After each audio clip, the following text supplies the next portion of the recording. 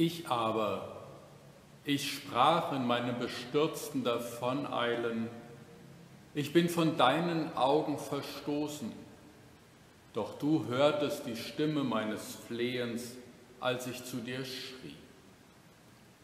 Worte aus dem 31. Psalm. Der Psalm ist ein Vertrauenspsalm. Er besingt Gottes Güte.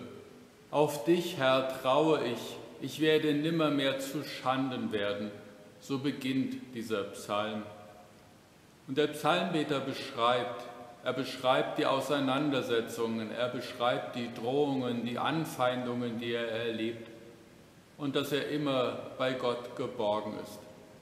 Ganz vollmundig beschreibt er es, bis dann kurz vor dem Ende des Psalmes dieser Satz gesagt wird, der uns heute durch den Tag begleitet. Ich aber, ich sprach.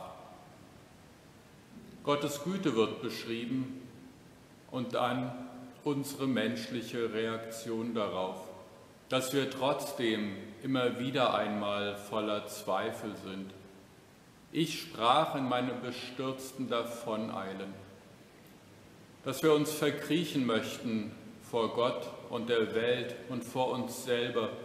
Das erleben wir immer wieder einmal. Die Psalmen, die Lieder der Bibel, sie singen von Gottes Güte, aber ganz oft ist uns nicht danach, Gott zu loben, sondern wir fühlen uns klein und ohnmächtig und möchten am liebsten verschwinden. Aber genau solche Erfahrungen finden wir in der Bibel. Ich denke an den Propheten Jona, der vor Gott davonläuft. Ich denke an Elia, der sich in der Wüste verkriecht. Und ich denke auch an diesen 31. Psalm. Der Psalmbeter, der Gottes Güte besingt, der besingt, dass Gott in den schlimmsten Situationen bei ihm ist. Und dann sein eigenes Zweifeln, sein eigenes Zögern, sein eigenes Davonlaufen. Ich, ich aber sprach, ich bin vor deinen Augen verstoßen. Da hat der Psalmbeter kein Vertrauen, dass Gott ihn wirklich gnädig ansieht, so wie wir ganz oft an Gott zweifeln und verzweifeln.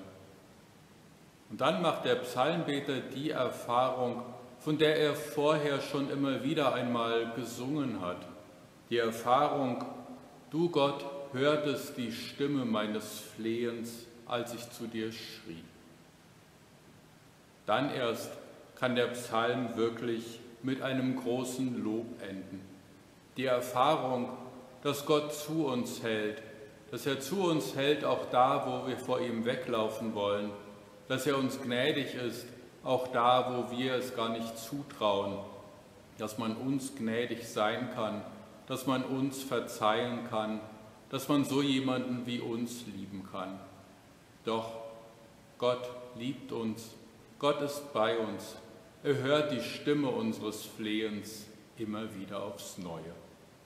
Amen. Du bist heilig, du bringst Heil, bist die Fülle wie ein Teil der Geschichte, die du webst. Gott, wir danken dir, du lebst mitten unter uns im Geist, der Lebendigkeit verheißt kommst zu uns in Brot und Wein, schenkst uns deine Liebe ein.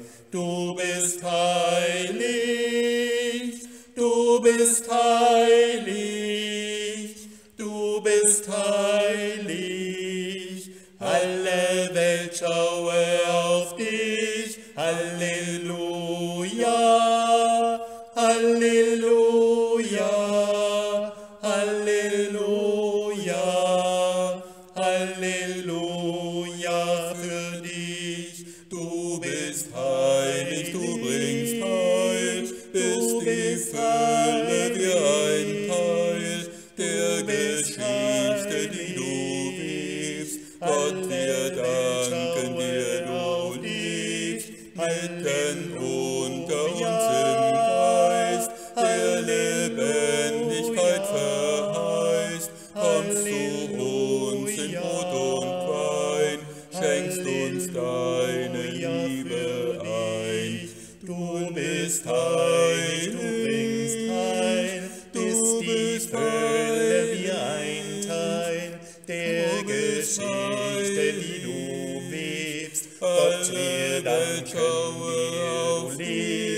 mitten unter uns im Geist, der Lebendigkeit verheißt, kommst du uns in Brot und Wein, schenkst uns deine Liebe ein.